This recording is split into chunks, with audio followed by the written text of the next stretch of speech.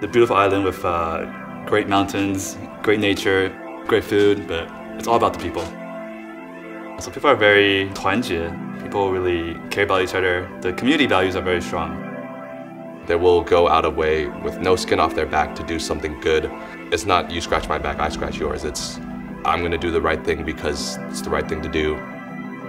Coming from Taiwan and being really deep in the Web3 ecosystem, these are the two things that I care the most about. So BZD kind of combines these two things that I'm really passionate about into one mission that a lot of people can get behind. I would like to say that probably Jackie, one of the founders of BZD, kind of showed me the whole entire project saying, oh, it won't take so much time, it's gonna be so much fun. He was wrong about the first one, definitely takes time, but he's definitely right about the second one. It is amazing. It makes me think of my parents. They had both met in New York, and the way they kept in touch with each other was by having a lunch club with other fellow Taiwanese people.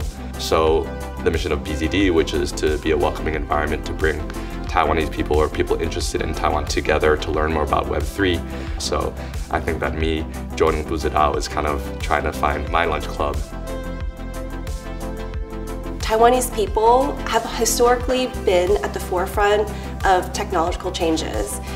People are always very excited, very open, and thinking about new ways to adopt technology and how it can help benefit society. Working with the government already, I think there's a lot of potential of Web3 bringing Taiwan to the international stage. Whether it is their resources or their talent, I think there's so much potential that Web3 creators and founders can really contribute to the Web3 space. Sometimes being in the US, people are siloed away from the rest of the world, and Taiwan has so much to offer, and Taiwan is just an amazing place. I hope the rest of the world uh, can see that, and this is going to be our, our first effort to do so. I think BZD chose bridge as the theme for this year's Taipei Blockchain Week because bridge has kind of two meanings as I understand it. One is a physical bridge connecting two different locations that would otherwise be unreachable. Having that be this concept that we orient the entire conference around really allows us to kind of see where we can grow the community. Two, obviously bridges are one of the ways that different blockchains can interact with each other. So there's kind of that underlying technological reference, which I think is pretty clever. We wanted the conference to be welcoming for those who are experienced in Web3, but also newbies who really want to know the space. With the Developer Bootcamp, it's really cool because we chose to be multi-chain, which means that we can give the attendees really a great overall landscape of Web3 so they can really figure out where they really want to go into the industry. So the first three days is generalist conferencing for those who want to learn about Web3, and it ends with the last three days being a developers bootcamp to incubate the next generation of founders, builders, and creators. We will gather top speakers coming to Taiwan to share about their knowledge about Web3, and then we also gonna have a lot of awesome party.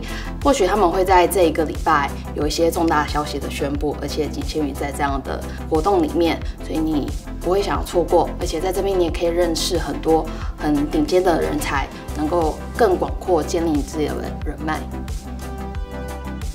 Community is what keeps us in the space. It's what keeps people together. It's what keeps the whole system working.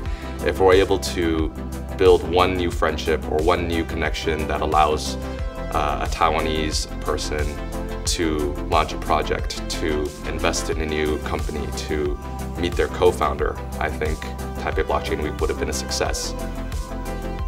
It's great to be with other Taiwanese people that care so much about Taiwan and so much about Web3.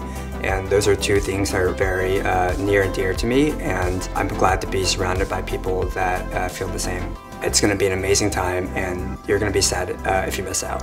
You better want to book your ticket fast because this is the first Web3 conference after pandemic and after Taiwan just opened up the borders. So I have no doubt the tickets will be sold off very soon and then you want to get one. 我觉得台湾有这样的国际活动很难得，希望大家可以就是趁这个机会多接触一些不同的资源啊、不同的文化，然后一起欢迎这些喜欢 Web 三、喜欢台湾的人来我们家园。See you in Taiwan.